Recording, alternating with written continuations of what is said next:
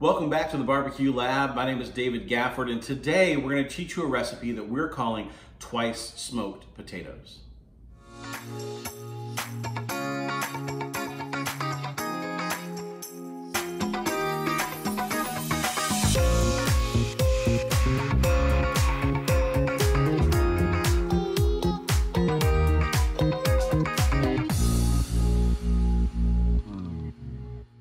Okay, so we have about 10 extra, extra large baking potatoes, and we pick these up at our local Sam's Club or Costco. And these things are enough for two people, pretty much. But what we're gonna do is we're gonna take these and we're gonna cut them uh, in half once we've actually baked them, and we're gonna make them like twice baked potatoes. Almost everybody's heard of twice baked potatoes, except we're gonna do the second half of this cook on the smoker and give a little bit of smoke to these twice baked potatoes, okay? So that's the idea. So we've taken these potatoes, we've cleaned them up, we've made sure that they're nice and ready to go, and we want the outside of these potatoes to be nice and crisp and hearty. We don't actually want to steam the outsides or we don't want to make it so that they're nice and, and, uh, and soft. We want these to be nice and crispy so they can withstand the pressure of scooping out the insides so we can mix it with all kinds of yummy things and actually make that twice smoked potato recipe. So we're gonna start by throwing these in the oven. We're gonna put them in the oven to get started. And then once they're fully baked and we can put a fork in without any resistance, that's when we're gonna cut them in half and scoop them out. Stick with us, you're gonna wanna try this one.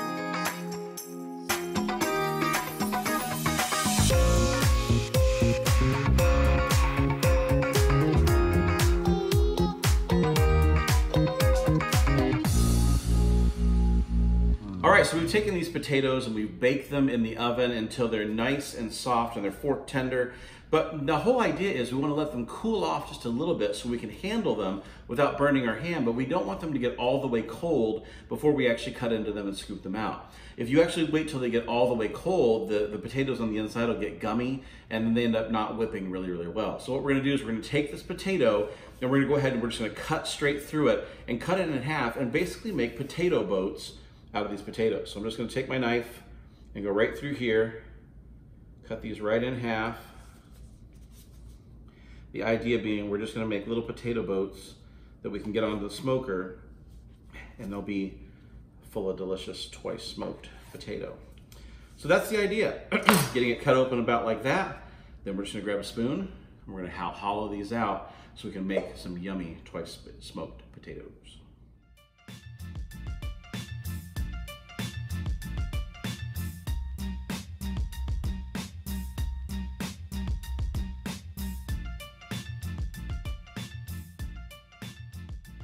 All right, so we've scooped out the insides of these potatoes so we can put all of this deliciousness inside. And we've got it so that basically all of this potato is ready to be mashed. And we're gonna go ahead and start with some of these ingredients. We have some butter, we have some chives, green onion, a little bit of sour cream. Of course, you need some bacon. And we're gonna wrap it all together with a little bit of cheese. So this is what's gonna go inside our potato mixture. And all we're gonna do is just start with the basics. We're gonna start with some butter. Then we're gonna go ahead and add a little bit of chives. And then we're gonna go ahead and go through and we'll add some green onions to the mix. A little bit of sour cream.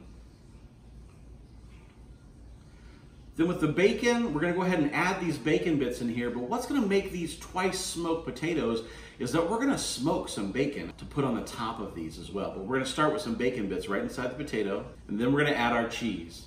As we add our cheese, we're just gonna sprinkle this in here, make it nice and cheesy so this can bake all in, but you know we're gonna top these with some cheese as well. We've got all our ingredients in, and last but not least, we're gonna add a little bit of heavy whipping cream to give it a little extra moisture, so this can really become those creamy, potatoes that are gonna fit perfect back in those boats that we just made out of the potato skins.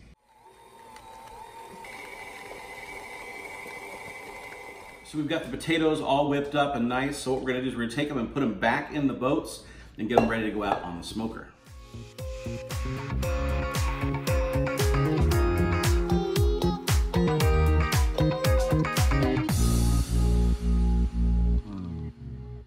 Now that we've got the potatoes back in, we're gonna go ahead and sprinkle them with cheese and get these things back out on the smoker. So we've got these ready to go on the smoker. We're gonna put these on at about 300 degrees. In about 45 minutes, they should be golden brown and delicious. All right, these potatoes have been on the grill for just about an hour, and let's find out how they're looking. Check out how those things look. Those are those twice smoked potatoes, and oh my word, how good does that look? That cheese is crispy they are ready to go. We're gonna take those inside, get these things ready. So we've got these twice smoked potatoes off of the smoker. They've had a second to cool. And over here for dinner, I've got Jason from the Barbecue Lab who's joining us. I was able to talk him into being here on the, on the video with me here at the end. And we're gonna try these and see how they taste. All right, you ready? Ready when you are. All right, let's give it a shot.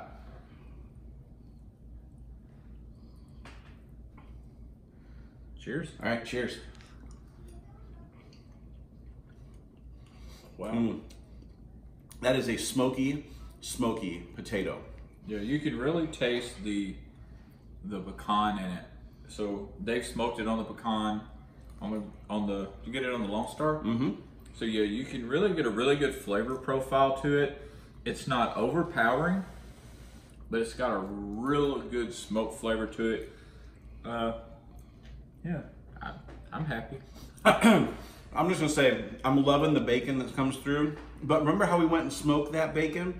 So we'd have these twice smoked potatoes.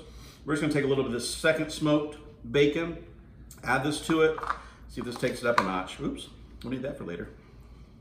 Or not. We don't have to share. Mm. Mm. That's the stuff right there. Yeah, that is awesome. Good All I gotta say, you gotta try this recipe at home. If you need instructions, head to thebarbecuelab.com. We've got this exact recipe on our website and you can make it at home. Try it this weekend, amaze your friends, and really, really win your weekend. We look forward to seeing you next time on the Barbecue Lab.